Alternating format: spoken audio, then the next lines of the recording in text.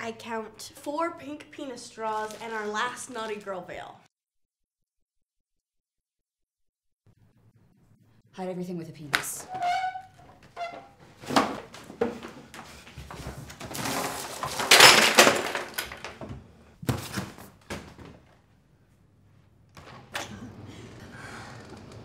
Hi, Anna.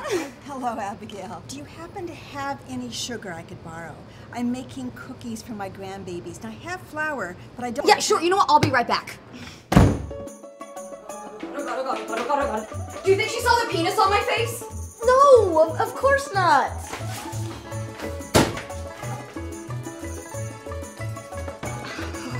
Here you go. I only need a cup. Oh, no, it's fine. I'm diabetic. that was close. Diabetic. I panicked. I count only two penis suckers left. Did we really use them all in Jenny's party? Oh, Jesus. I'll order more. Why are we doing this? Why are we doing something we're so clearly ashamed of?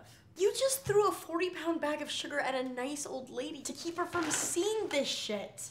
Amber, this may not be what we want to do today, and it may not be what we want to do tomorrow or the next day or the day after that. That's five penises. One day we will be throwing the kind of dignified, female positive, classy affairs that we've always dreamed of. But you're right, we're not going to get there by being ashamed. So so let's suck it up. And let's throw some dumb bitches some trashy ass parties. Get that penis hat and let's get back to work.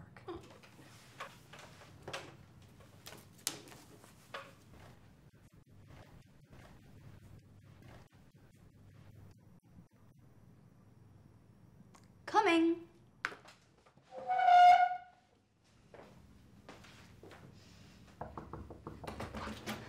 Here you go. Hi, I'm Amber. This is my penis. Oh, my husband's is bigger. All right.